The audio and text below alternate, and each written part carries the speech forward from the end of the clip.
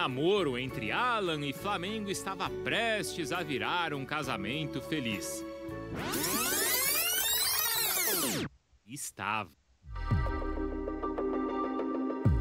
Isso porque a crise nos bastidores do Atlético Mineiro congelaram as negociações com o volante. O motivo do congelamento é a rescisão contratual com o técnico Eduardo Cudê. A cúpula mineira não vai dar andamento em nenhuma negociação até que todo o embrólio com o treinador seja definido. Diretores e agentes de Chacho Kudê se reuniram virtualmente nesta quarta-feira e acertaram alguns termos de uma rescisão contratual amigável. Mas ainda restam os últimos detalhes, como a retirada de itens pessoais da cidade do Galo e o pagamento do salário em aberto para o treinador ser página virada no clube. Do outro lado, o Flamengo espera concretizar a compra de Alan nesta quinta-feira. Pedido por Jorge Sampaoli, o Fly estava disposto a pagar 40 milhões de reais, além de bônus por metas pelo volante. Mas, segundo informações do site Fala Galo, especialista em notícias do Atlético, pessoas próximas ao volante falam em reviravolta no caso. O Flamengo não vai desistir de contar com Alan. O clube deve fazer uma nova investida para não perder o volante na janela de transferências. Eu tento me, me desligar sobre essas, essas informações, deixo para eles cuidarem, avaliarem se, se vale a pena ou não. E estou aí para qualquer coisa, se eles quiserem conversar, mas eu estou feliz aqui sim. Teremos então novos capítulos desta novela?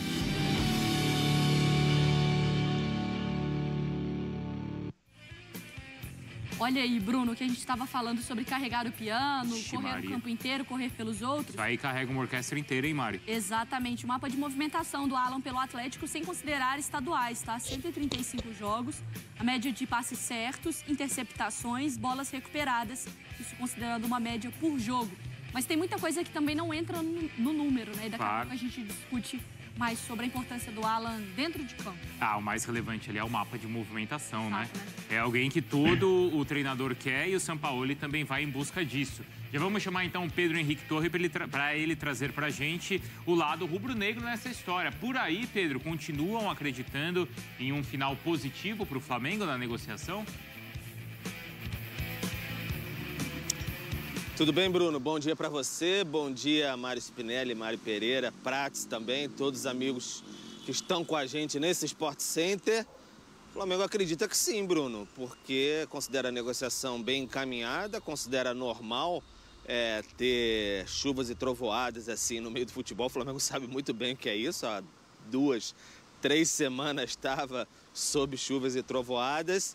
E o Atlético agora passando por um momento um pouco mais turbulento aí com a saída do Cudê, entrada de um novo técnico, é natural. O Flamengo tinha a expectativa de finalizar essa negociação nessa semana, pode dar uma atrasada, mas sabe que é uma negociação, é, tanto essa quanto a do próprio De La Cruz, que são negociações que vão necessitar daquele famoso gelo no sangue que o Marcos Braz sempre fala, tranquilidade, tem que saber, são cifras bem altas também.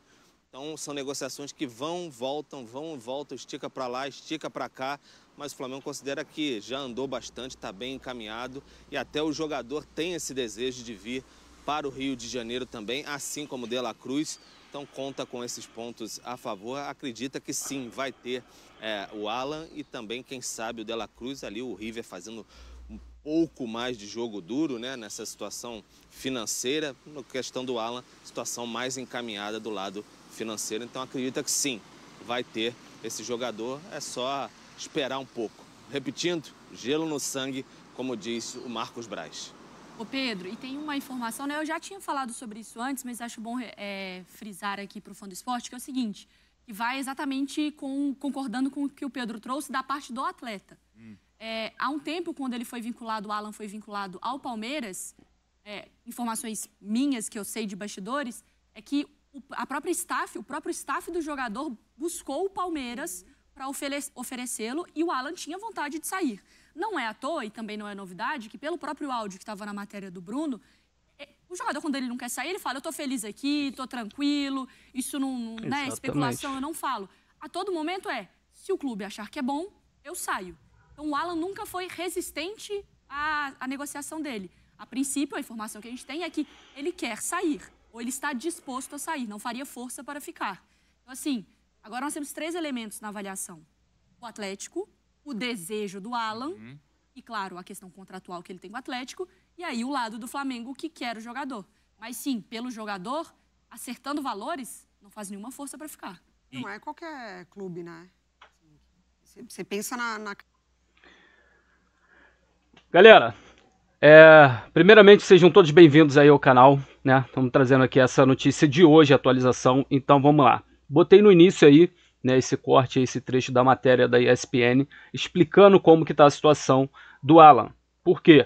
Ontem fiz uma live aqui no canal ontem à noite, falando já dessa notícia que o Atlético não estava querendo dar o braço a torcer, ou seja, ceder, finalizar na negociação, tá? Então vamos atualizar hoje, tá? Hoje, como vocês puderam acompanhar aí. O lado do Flamengo, o Flamengo acertou tudo com o jogador, tá? Com os representantes do jogador, questões salariais e tudo mais.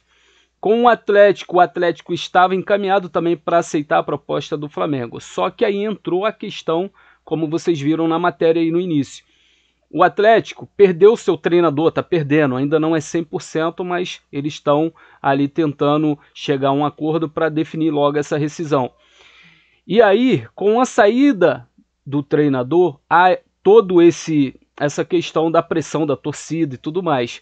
A gente perde o treinador e ainda vamos perder um jogador, ainda mais para o Flamengo, que é um rival direto na briga por títulos. Por isso, o Atlético, nesse momento, travou as negociações, não quer liberar o jogador. Por outro lado, como vocês viram na matéria também, o jogador quer, ele já, ele já é, expressou o sentimento, o desejo dele de sair, de tentar é, respirar novos ares. E o Flamengo seria o destino. Então, pelo lado do Flamengo, o Flamengo trabalhava com a possibilidade de definir essa situação até hoje, quinta-feira, mas por enquanto o Atlético travou, não quer. Né? Houve uma reviravolta aí, como vocês viram, o pessoal que cobre o dia a dia lá do Atlético disse que o Atlético não vai liberar o jogador por hora. Então, essa é a situação de momento. Ontem na live, muita gente falando que essa informação não procedia e tudo mais, por isso estamos atualizando vocês. Sobre, já pegando o gancho também para falar aqui do De La Cruz, é, rapidinho, galera, pedir a vocês para não esquecer de deixar o like aí na live, tá no vídeo, e se inscrever no canal. É, o Flamengo se representou ontem, treinou ontem à noite, treina hoje em dois períodos, amanhã também em dois períodos, e o Flamengo está aguardando também a situação do De La Cruz. De La Cruz está na mesma situação, bem parecida, né, a novela do, do Alan do Atlético Mineiro. De La Cruz também é um jogador que tinha o desejo de vir para o Flamengo, jogar no Flamengo, é, o Flamengo acertou valores com os representantes dele, com o Liverpool lá, que é o que detém 50% dos direitos do jogador, e os outros 50% do River Plate. E aí fez a proposta, encaminhou a proposta, o River recebeu a proposta, só que aí nos 45 do segundo tempo o River deu uma travada, por quê? Porque o River também pretende é, esperar a última rodada da Libertadores. Caso o River se classifique, para a próxima fase da Libertadores, o River não pretende liberar o De La Cruz agora porque ele acha importante ter esse jogador no elenco. Mas se o River for eliminado da Libertadores, e aí isso facilitaria. Portanto, a informação da TNT Esporte da Argentina que neste momento o River não vai liberar o jogador De La Cruz para o Flamengo. O Flamengo está otimista, mas o River fez uma pedida maior Flamengo ofereceu dinheiro, eles pediram um valor maior para ganhar tempo para ver, para esperar chegar a última rodada da Libertadores para ver se o River Plate se classifica à próxima fase. É isso. Atualizações dadas. Pedir a vocês para não esquecer de deixar o seu like aí no vídeo, se inscrever no canal. Mais tarde eu estou aqui fazendo aquela live para interagir com vocês, trocar ideia, trazer né, um apanhado do dia do Flamengo aí, daquela atualização geral. Então é isso. Agora eu fui, saudações rubro-negras, salve Flamengo sempre. Tamo junto, nação. Valeu.